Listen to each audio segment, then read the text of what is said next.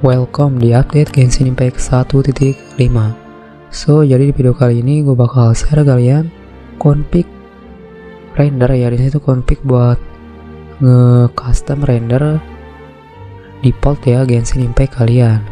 Jadi fungsinya tuh di situ buat ngeoptimalin ya atau nge-percepat ya proses render saat kalian bermain Genshin Impact.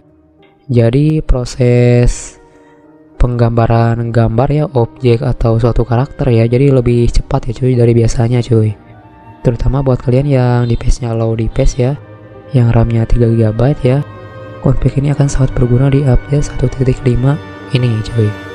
Oke di sini gue bakal langsung aja ya mulai ke tutorial cara pemasangannya ya cuy. Jadi buat kalian yang tertarik buat coba config ini kalian bisa cek link download deskripsi ya buat download confignya cuy Oke, di sini kita langsung aja mulai ke tutorial cara pemasangannya ya, oke?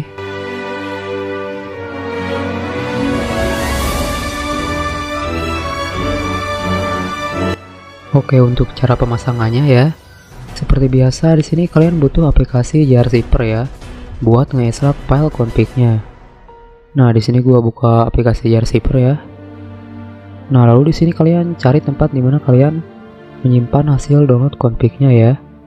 Sebagai contoh di sini gue ada di folder C1.5. Nah, di sini ada file yang namanya custom render ya, cuy.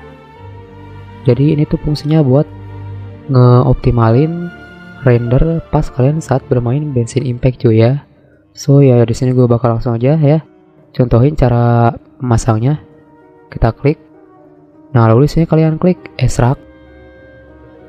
Kalian pindahkan lokasinya ke Android data. Nah, di sini kalian cari Komihoyo ya. Oke, bentar gue cari dulu. Komihoyo. Mana nih cuy? Komihoyo, Komihoyo. Nah, ini dia.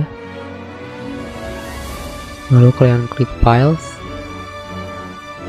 Nah, untuk pemasangan config ini ya, kalian cuma perlu extract filenya di dalam folder file sini. Mesti kita klik ya, extract. Nah, nah kalau kalian punya config yang lama ya, kalian bisa timpa aja ya di sini. Klik ganti. Nah, nah lalu setelah kalian memasang confignya selesai ya di sini, setelah selesai pengekstrakan ya, kalian bisa coba langsung mainkan Genshin Impact kalian ya. Di update 1.5 nanti. So ya itu aja ya untuk video config kali ini.